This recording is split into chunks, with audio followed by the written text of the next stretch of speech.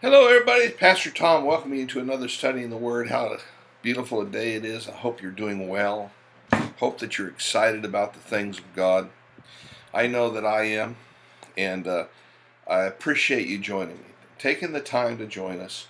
That's what's so great about YouTube and these type of things because even if you have a live service and you put it on YouTube or uh, Facebook Live and the things that we utilize, you can always watch it later. And that's what I like about this. You can watch some of it and then you can hold it and, and you come back and watch some of it later if you have to. But we just welcome you. And we are talking about, this is our second session in the kingdom of God being on the inside of us. We talked about stress, how important that is, because God wants to get his kingdom not only into people, but then out from his people to influence others into the kingdom. Now, how does that happen? We talked about this last session, and the, fir- the first way he did it, began to do it, was through this thing called other tongues as he baptized his people in other tongues. Now, let's go to Acts chapter 1 and we'll see this. Speaking in tongues is not gibberish. Uh, I see people on Facebook and stuff, and, and, and I see people on YouTube, and they, they they make little remarks on my YouTube videos. Really, I don't even let people see most of that.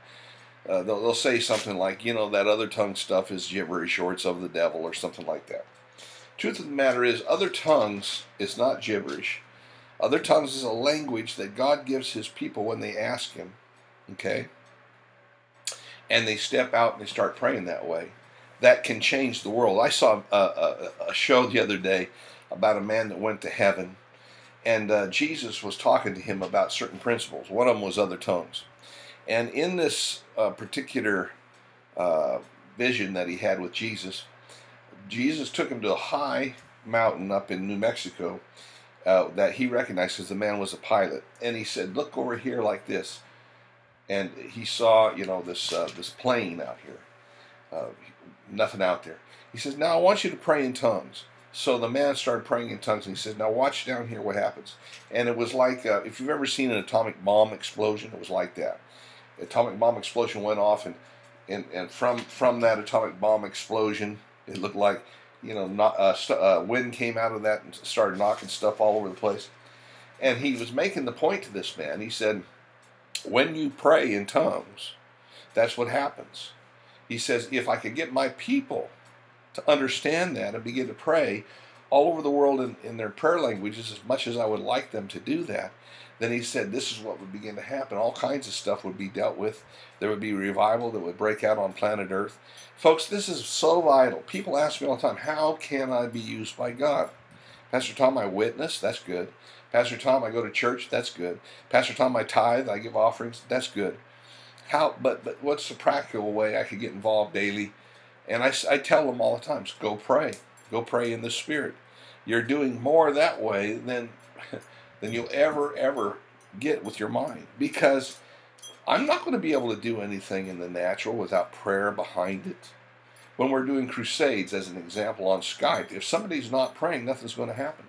But the more people that pray, the more God is able to then use those prayers and answer those prayers by establishing his kingdom. Amen. Now in Acts chapter 2, we read it, we're going to read it again. The God started the church in John chapter 20 when he blew on his disciples, his first 12 disciples, or the disciples that were there, excuse me. He said, Receive ye the Holy Ghost. They got born again. You get born again, the Holy Spirit comes on the inside of you. But you need to be baptized in the Holy Ghost with the evidence of speaking with other tongues so you can be empowered for service. You can have the gifts of the Spirit that opens the door for the gifts of the Spirit to begin to manifest in you.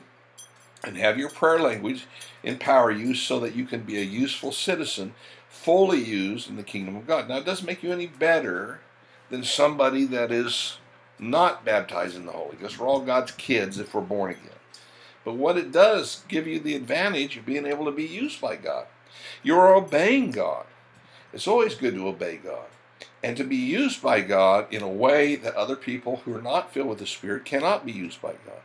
And so I I desired that intimate fellowship with God. I desired that. And I wasn't getting that. And this is the thing that brought me into that. You see, there's a million reasons, and we'll, I don't want to get ahead of myself. But right now, let's look at Acts chapter 2, verse 1, and see what happened to the first church, the Jewish church. When the day of Pentecost had fully come, they were all with one accord in one place, and suddenly there came a sound from heaven, as of a rushing mighty wind, and it filled the whole house where they were sitting. Then there appeared to them divided tongues as of fire, and set upon each of them. And they were all filled with the Holy Ghost, and began to speak with other tongues as the Spirit gave them the utterance. Now, all of them spoke with tongues. Okay? And there's a reason that the Bible records all of them speaking with tongues because God wants all of his people to speak with tongues. So those that are there, everybody was there, got it. They began to speak with other tongues, which means to me that that was the beginning point, but it didn't stop there. In other words, once you receive the initial sign of the baptism of the Holy Ghost and, and you get filled with the Holy Spirit, you start praying in tongues or speaking in tongues, then you need to do it consistently, all right? Look down at uh, uh, Acts chapter 2 here. I'm going to. Let me get the scripture here for you. In Acts chapter 2, because after Peter was uh, got up and preached uh, these message to these people and everything, um, he says something down here in verse 37. Let's just start at verse Acts chapter 2, verse 37. Now, when they heard this, they were cut to the heart, said to Peter and the rest of the apostles, men and brethren, What shall we do? Then Peter said to them, Repent, turn, change your mind, right? Turn around, start following Jesus instead of the world and devil and everything else. And let every one of you be baptized in the name of the Lord Jesus Christ for the remission of sins, and you shall receive the gift of the Holy Ghost. So immediately after he gets up. They have this experience. 120 are praying in tongues. He preaches a message. Immediately he comes back to this. You see that? The first sermon. For the for the promise is to you and to your children. Interesting, isn't it? So the promise of the Holy Ghost is not just to the apostles there. The promise is to you, to your children, and to all who are far off, as many as the Lord will call. Now, let me ask you a question. These guys all got it the same way. They all got it the same way. All right? And so if they all got it the same way, then that's they knew that's what it meant. And so they said, now this promise is not just to us. It's to you, then it's to your children, and your children's children, as many as the Lord shall call. Who's that leave out? who listening to me does that leave out? Yet so many people will try to, they, they come up with some kind of doctrine to do away with that. Anything but believe what the Word of God says here. It's amazing to me how the enemy has come up with so many ideas that are unscriptural against this and caught people up in it. And it's just religious traditions. I've had people who have uh, have been taught their whole lives that tongues was of the devil or tongues was was not real or was just gibberish or, or passed away. And from every kind of denominational background you can you can think of that have come into my meetings and heard the word of God like I'm giving it to you now, that have in in just a few minutes changed their mind about it, received, and now are praying in tongues, and they they'll come up to you later, a couple years later, and they'll say, "I I don't. How did I go for? This is how. How did I go for 20 years believing that nonsense? Because they realize how important this has become in their lives. Amen. All right. So first of all, the Jewish church. That's all there was at that particular time. All received it the same way. Well, then we look. If you look at Acts chapter 8, this is always fun. Acts chapter 8, we're going to see Jesus told them, You go to Jerusalem, Judea, Samaria, to the uttermost parts of the earth. Remember that? So we get to the part where they begin to minister down here in Samaria. Now, Samaria was a place where a lot of the Jewish people had settled with heathen people that God had told them you're not supposed to settle with. Okay? And they, these people worshipped idols, they were occultists, they were into all kinds of demonic stuff. And so you had uh, Jewish traditions mixed with heathen traditions. This is the area where some of the greatest occultic teachings came out of. We even have them today, you know, this Kabbalah and all these type of things. A lot of this stuff originated in places like Samaria where there was a mixture of Jewish traditions and uh, pagan and, and occultic and demonic traditions all mixed together to come up with all kinds of weird stuff. And it's the same. It was the same way in the early church with the Catholic Church, mixing. That's how the Catholic Church really began. The mixing of the of, of the pagan religions with the uh, with Christianity. You know, replacing uh, these uh, pagan deities like uh, you know uh, uh, like saints with the, that were saints. They were called you know, were spirits that these people worshiped. They were, they were uh, gods that these people worshiped, and saying, "Well, this is Saint Joseph or whatever it is," and that's how that all came to pass. And there's the same way here. So the church goes down there, and in in in uh, the guy that was sent down there, or the guy that went down, there, his name was Philip. He's an evangelist. Now let's go to verse five and see what happens here. It's pretty exciting. Then Philip went down to the city of Samaria and preached Christ to them. Now, so he preached Jesus Christ, and what happened when he preached Christ to them? And multitudes were with one accord heeding the things spoken by Philip, hearing and seeing the miracles which he did. So, it was important for the early church to have that miracle working power. Why? Well, because down there in these occult, we're going to find out here, in this occultic atmosphere, this supernatural stuff and false signs and wonders was legendary and actually happened all the time. So when you carry the gospel, you better have the miraculous power of God working, or nobody's going to listen to you. if you can go down to the witch doctor and get more than you can from the preacher, you know you got problems. And this is the case in a lot of places today. You know, I mean, um, it's it's sad, but if we're not filled with the Holy Ghost, we don't have that power from on high. Well, Philip had it. He starts, you know, miracles are happening. All right, verse seven. Some of the miracles were for unclean spirits. Crying with a loud voice came out of many who were possessed. Wow, not a few, many. Now, these people got possessed by these evil spirits because they were fooling around with stuff they shouldn't have been fooling around with. The occult is the number one way that people get oppressed and get uh, demonized, and you get, and and here Christ is preaching. These evil spirits start screaming and coming out of them. Isn't that amazing? And many who were paralyzed and lame were healed. Not a few, many of them. And there was great joy in the city. So they had they had demons coming out of people. They had the signs and wonders of, of these paralyzed people and people that were on. Uh, back then, they would have been brought in on cots and stuff, and they just got up and walked off. Wow! Woo! Glory to God! And great joy. People just had joy. Laughter broke out, and people were having great, great manifestations of joy. That sounds like quite a good meeting to me. The very type of meeting, meetings and stuff sometimes we have, me and my wife have like this, are the ones that get criticized the most by some Christians in the church. Isn't that amazing? Isn't that amazing? Well, anyway, verse 9. But there was a certain man called Simon who previously, okay, practiced sorcery in the city and astonished the people of Samaria, claiming that he was someone great. Now, in history of the occult world, this man was famous. This man was a famous sorcerer who, as we're going to find out, he practiced the sorcery here. And this man had a lot of power over these people. And I, I can only tell you the guy was probably very wealthy. Okay? Watch, we'll find out why. He astonished the people of Samaria, claiming that he was someone great, to whom they all gave heed from the least to the greatest, saying, this man is the great power of God. Well, why would they say that if there wasn't some kind of demonstrations of power? But I by that I mean occultic, false signs and wonders. Now, we don't need to be afraid of occultic.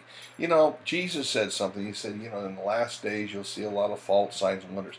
And then people say, uh, you know, there's an evangelist rose, comes into town, or there's somebody like me that comes into town, and we have signs and wonders and miracles, and great joy breaks out, and people, you know, falling out under the power of God because the power of God's so strong, and and then they'll say, well, you got to watch out for that because you see that's that's what Jesus was talking about was those false signs and wonders. Well, people, it's not false signs and wonders when people are getting saved getting filled with the Holy Ghost, getting healed, getting delivered from evil spirits all over the place. That's not false signs and wonders. Those are real signs and wonders. You see, but there are false signs and wonders, and apparently Simon was doing it, and not hard. It is not hard to tell the difference. Okay? And they heeded him because he, he had astonished them with his sorceries for a long time. They did what he said. This guy controlled them. Probably controlled their pocketbooks too. Verse 12. But when they believed Philip as he preached the things concerning the kingdom of God, there it is again. See, they were preaching the kingdom of God, not just the gospel of salvation. That was the starting point. But things pertaining to the kingdom of God. There's a lot of things pertaining to the kingdom of God that you have to preach. And the name of Jesus Christ, both men and women were baptized. So these people got saved. These people got saved and they were baptized with water. See that? Then Simon himself also believed. When he was baptized, he continued with Philip and was amazed seeing the miracles and the signs which were done. Now listen to this. Now when the apostles who were at Jerusalem heard that Samaria had received the word of God, they sent Peter and John down them to them, whom when they had come down prayed for them that they might receive the Holy Spirit. You see that? Wait a second. Wait, wait, wait, wait, wait, wait, wait. So Philip goes down there, preaches Christ to them. There's great outbreaks of joy. They get delivered. There's miracles. They get baptized in water. And to do that, you have to be a Christian in their mind anyway, right? So they're baptized in the water. So these are believers. And then, so when Jerusalem hears, hey, Samaria down there is receiving the word of God, they send down the apostles. Why? Apparently to make sure they got filled with the Holy Ghost. Hmm, interesting, isn't it? Interesting. I like that when ministry gifts work together like that. For he had he had fallen upon none of them. They had only been baptized in the name of the Lord Jesus, or they'd been saved and baptized in the name of the Lord Jesus. And uh, then they laid hands on them, and they received the Holy Spirit. Interesting the way this works because I want you to see several things. Number one, we know there's a uh, two things that happen here. There's salvation when you receive Christ and you're baptized. And then the apostles came for to lay hands on these people and make sure they received the baptism of the Holy Spirit. Must have been important, huh? And uh, it's very interesting to me, though. You see, when the Holy Spirit came the first time, nobody laid hands on anybody. They just came and it filled all, all 120 of them. Nothing about laying on of hands. Here, though, you see, as, they, as the church steps forward, the apostles ministered this. Right? So it can come that way too, through the laying on of hands, or it can come by praying. It can come by, but the Holy Spirit has been given. See, the Holy Spirit came the first time in the Acts chapter 2. So this has been happening in Acts in the Jerusalem church, and people were getting saved there, and the, and the, and then the apostles would see to it they made sure got filled with the Holy Ghost. So they did it like this here, same way. So verse 28 now, uh, verse 18 now, now notice this. And when Simon saw that through the laying on of the apostles' hands the Holy Ghost was given, he offered them money, saying, Give me this power also that on anyone on whom I lay hands may receive the Holy Spirit. Well, this guy's heart's all goofed up, but I don't want you to I don't want you to pay attention to that so much. What did he see? You see, somebody says to me, Well, look, it doesn't say anything. Sure, there's another experience here, Pastor Tom, but it doesn't say anything about other tongues here. And I always say, oh, yes, it does. And they always say, no, it doesn't. I always say, oh, yes, it does. And they always say, no, it doesn't.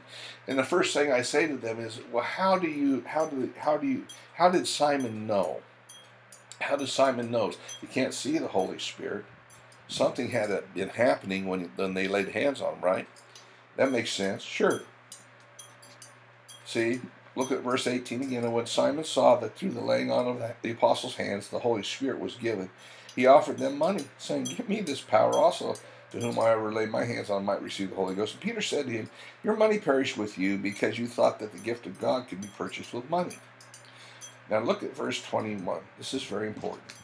You have neither part nor portion in this matter, for your heart is not right in the sight of God. Well, Pastor Tom, I don't see any tongues in that. I do. Get your concordance out. Just just stop this. If, if you have any questions about it, you don't believe me, just stop the, the, the video. Go over here to uh, to the word matter here in verse uh, uh, 21. Find that, look that word up. You know what that word matter means? It's used many times in the New Testament as utterance.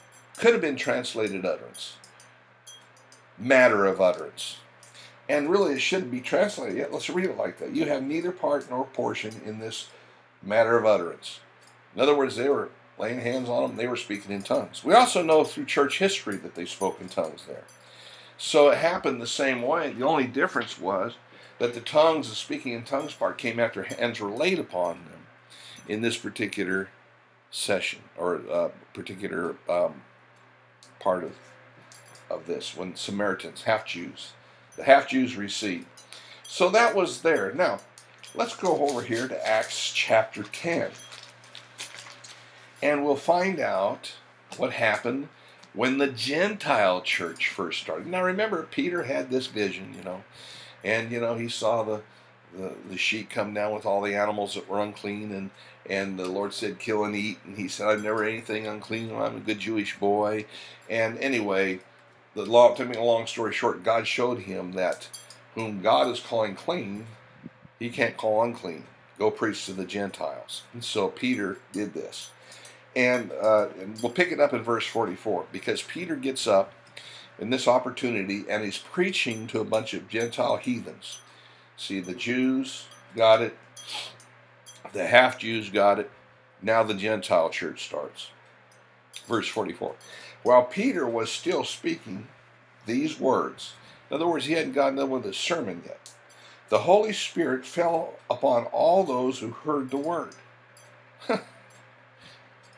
Didn't give an altar call, just and those of the circumcision, or the Jewish Christians, amen, who, and those who believed were astonished, as many as came with Peter, because the gift of the Holy Spirit had been poured out on the Gentiles also. For they heard them speak with other tongues and magnify God. Then Peter answered, Can any man forbid water that these should not be baptized who have received the Holy Spirit just as we have, and he commanded them to be baptized in the name of the Lord Jesus Christ. A lot of people like to argue about baptism. You need to be baptized, if if you're not baptized, you're not saved. Well, these were. They didn't get baptized till after they had the experience of the Holy Spirit coming on the inside of them. You know the Holy Spirit doesn't go into unclean vessels. Come on, guys, grow up. Church of Christ people. That, that's a big deal to them. Got to be baptized the way we say, or you're just not saved. Well, I got saved, filled with the Holy Ghost long before I ever got baptized in water. I'm not saying that's right. It's just I didn't know any better. And uh, I was still praying in tongues. I still love Jesus. You couldn't convince me I'm not saved because I had that born again experience, as well as thousands of other people. So let's just grow up. Baptism in the water is important, but when it takes place, see here, uh, if, you know, if you can, it's good to get people baptized immediately after they receive the Lord in water, but sometimes that doesn't work out. But we need to get them baptized in the Holy Spirit because that is vital for them, okay? Vital for them so to be empowered from on high as soon as possible, right after. I do it in my prayer lines many times uh, if I'm uh, in meetings and, and I have the ability to teach people a little bit I'll do it immediately with the same altar call I do for, for, for, salvation. So I have the people that are had just got saved after we pray stay right there. Then I also have the people out here in the audience that would like to receive the baptism of the Holy Ghost and never have come on up. All of them together. I said, now you're all Christians now. These are new ones. You're older, but we're all going to receive the same Holy Spirit. And uh, praise God, it's all, all good, right? So I take them through a prayer, I teach them how to release their faith, and you know all of them get filled with the Holy Ghost. Doesn't matter whether they're new Christians or they're old Christians. They can immediately receive it. That's that's how I do it because I want to make sure they get everything they possibly can from God. So here we see the Holy Spirit didn't even wait. No hands were laid on anybody, just fell on them, interrupted Peter's sermon. That's a good way to get your sermon interrupted. Holy Ghost just falls on everybody and they start talking in tongues. So apparently, while he was preaching the word, faith comes by hearing, hearing by the word of God. Apparently, they had been saved while he was preaching. They didn't need an altar call. See, people, you know, a lot of people are funny to me. They try to make up formulas all the time. And I, I see it all the time on Facebook. I, I see it all the time on Facebook. Well, you got, you know, how do you get saved? Well, you have to repent. Well, it says that in one scripture, the, the scripture before this, repent, be baptized, everyone in the name of Jesus. Okay, they take that and they said that's the way you do it. Okay, well, if that's the only, if that's the way it worked, how come the Bible says, "Whosoever shall call upon the name of the Lord shall be saved"? That'll work. How about Romans chapter ten, verse nine and ten? You know, if you believe in your heart uh, and and believe Jesus uh, Christ was risen from the dead, confess Him as Lord, you'll be saved. How did you get saved, Pastor Tom? Cried out, "Help!"